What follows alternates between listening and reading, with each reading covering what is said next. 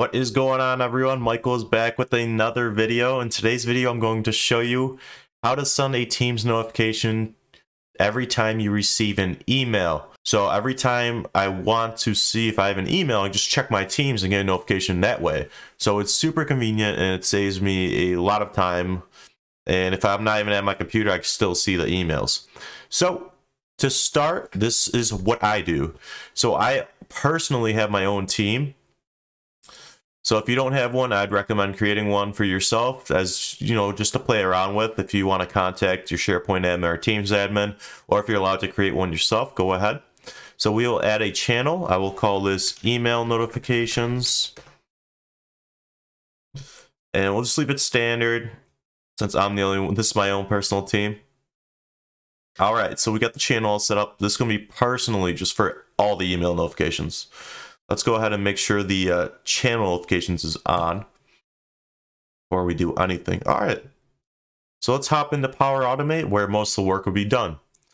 So new flow, automate cloud flow. We'll name this email notifications. The trigger will be uh, email. When a new email arrives v version 3, so v3. So click on that one. All right. So I personally want all the emails to my inbox to send me a Teams notification. So if you want a certain inbox or whatever, you have a separate folder in your Outlook, you can go ahead and change it. But I'll leave it for my whole inbox. So next up, chat. And this will be post message in chat or channel from for Microsoft Teams. We'll just send it as Flowbot channel. We will go ahead and select the Michael's personal team. And the channel will be email notifications. All right, so this uh, step will give us a few options. And there's a thing I have to show you, uh, something really cool. So for the message, a new email has been received. Here are some details below. So within this, if you notice, it doesn't actually say who, who sent the email. So we will have to write an expression to pull the JSON from this when a new email arrives. And I've already done it for you, so I'll just put it in the, uh, the bio so you can copy it yourself. But we will say sender, uh, subject, and body. So we'll just do something really simple like this. So for the Sunder, so yeah, the Sunder isn't in any of these options. So we do have to write a custom expression for this. And this will be at trigger outputs body from. So I'll just leave it on the screen for a second so you guys can uh, write that down in the expression field. All right.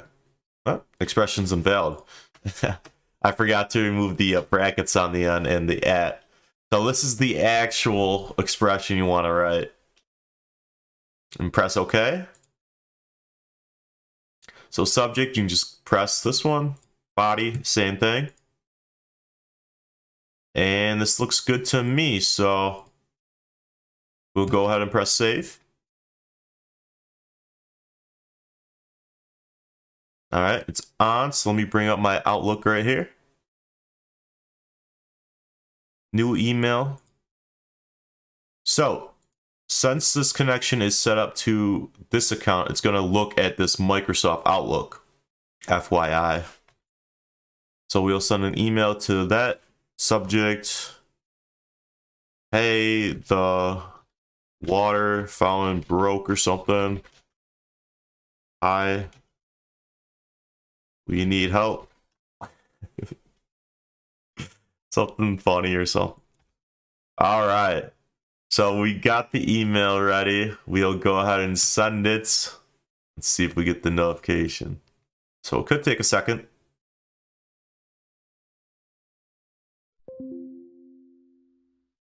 Alright, I just got the new email received notification. There we go. There's the uh, notification for Teams. Let's check it out. Ooh, a new email has been received. Here's some details below. Sender. Okay, we got the sender. That field works. Subject's all good. And there's the body. So this is a nice little preview. If you don't have Outlook on your phone, I have Teams on my phone. So if I'm out and about, I can see all the emails being sent to my Outlook inbox when I'm on the go. So I guys, I hope you guys enjoyed the video. I I love this little workflow I've created. I do use it every day. So I hope you guys get some knowledge from it. Like, comment, subscribe, and I'll give you guys some more tutorials coming soon. Till the next one.